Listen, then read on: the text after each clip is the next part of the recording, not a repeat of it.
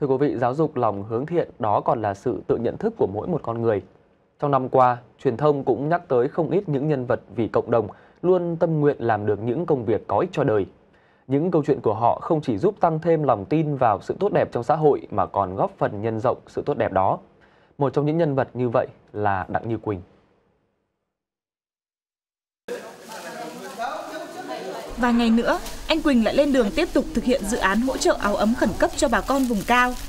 Đây chỉ là một trong số rất nhiều chương trình thiện nguyện mà anh cùng những người cộng sự của mình đã thực hiện trong nhiều năm qua. Các chương trình là cái lối tiếp các chương trình ờ, đi với nhau và năm này nó triền miên sang năm khác nên là thực ra các chương trình cụ thể là số lượng bao nhiêu chương trình chúng tôi cũng không thể nhớ rõ được nhưng mà nhóm chúng tôi thì cũng muốn luôn muốn rằng là những cái gì mà chúng tôi có thể hỗ trợ được chúng tôi đều tìm cách để hỗ trợ có thể chúng tôi giúp sẽ giúp về truyền thông giúp về kêu gọi hoặc là trực tiếp tham gia vào để vận động mọi người để tham gia vào các chương trình đấy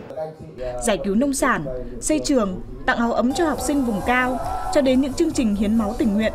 hay chương trình Tết ấm biên cương được tổ chức ở 12 tỉnh thành trong năm vừa qua. Không chương trình nào vắng mặt anh Quỳnh. Thì chúng tôi chỉ muốn rằng là chúng tôi góp một cái phần nhỏ bé nào đấy để tham gia được vào à, một cái à, cộng đồng chung để hy vọng rằng là sẽ nhiều nhiều hơn các đơn vị nữa cùng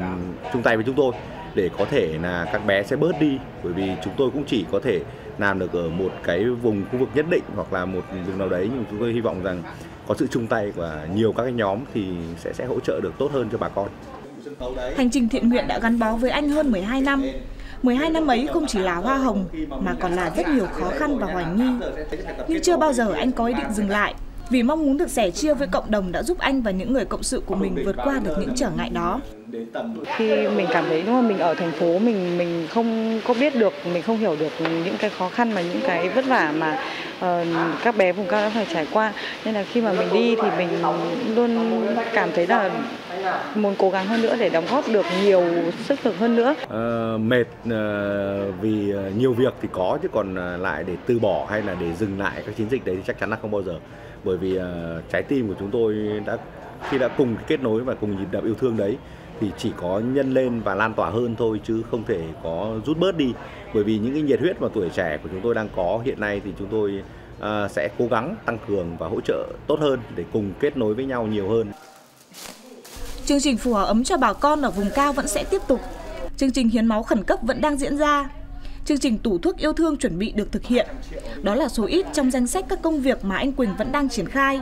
mặc cho công việc cá nhân cũng không hề rảnh rang. Vì với anh, sẻ chia với người khác luôn là một mong ước được thực hiện.